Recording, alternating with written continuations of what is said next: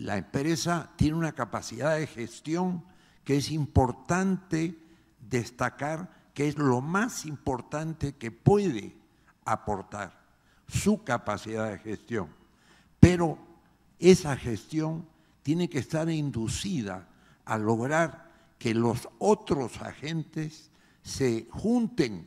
con la empresa, donde la empresa sea uno más y logren establecer un nivel de entendimiento que madure, se convierta en confianza y se establezca una verdadera alianza estratégica entre los diferentes actores y, por cierto, eh, eh, con la empresa. De esa manera, retirarnos de, una, de un diálogo transaccional que nos lleva a hablar muchas veces de la famosa licencia social, que es para mí lo peor que puede haber. Lo que tiene que haber es una alianza entre los actores que hagan